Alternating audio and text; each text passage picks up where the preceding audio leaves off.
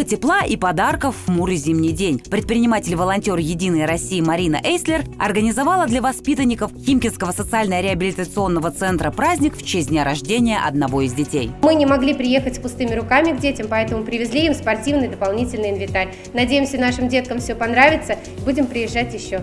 Детям подарили спортивную одежду и ватрушки для катания с горы. Вам понравился подарок? Да. Будете очень. кататься? Будем. Качественно, будем кататься.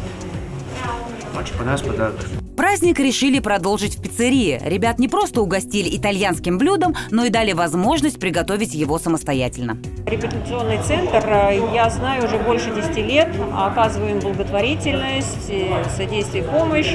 Сегодня я решила подарить детям такой праздник, мастер-класс по изготовлению пиццы с шеф-поваром. Мастер-класс провел шеф-повар, итальянец Лоренцо. Он показал детям, как правильно обращаться с тестом и раскрыл секреты настоящей пиццы. Отлично, вот там все, молодцы, молодцы. Пока угощение готовилось, смогли поиграть в настольный футбол и пообщаться друг с другом. Такие праздники для детей по инициативе предпринимателей проходят не в первый раз. После снятия карантинных ограничений мероприятия будут проводить чаще. В планах у Марины провести подобный мастер-класс, но уже по десертам.